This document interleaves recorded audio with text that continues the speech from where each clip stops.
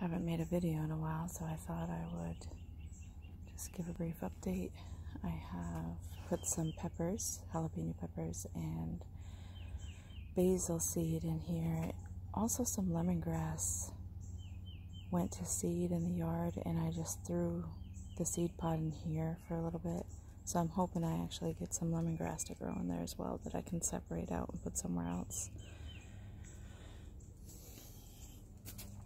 And in here we still have our onions, some basil, uh, tomatillos. And we built a couple new beds that we were in a rush to do because I knew I was getting another load of wood chips. So I needed to get those placed before putting the wood chips down, so they're not completely finished yet, but they are where they're going to be. And we got our dwarf uh, mulberries in the ground, both of them, one there and then one over there. And they have already fruited. This is the second year I've had them. Not a ton of fruit, but about 10, 10 or so now. We got some triple crown um, thornless blackberries that I put in over here. I had them in a shadier spot last year, not these particularly, but some other ones that died. So I'm trying them in a sunnier spot this year. And then I didn't plant this, but it is coming up from growing here last year. The um, Malabar spinach. So I put up a trellis for it.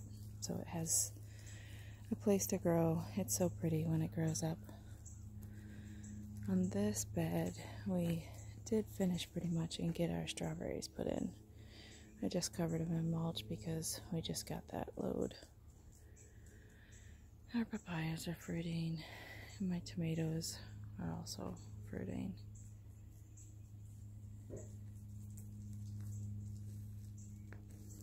We got a couple trellises of different kinds of tomatoes.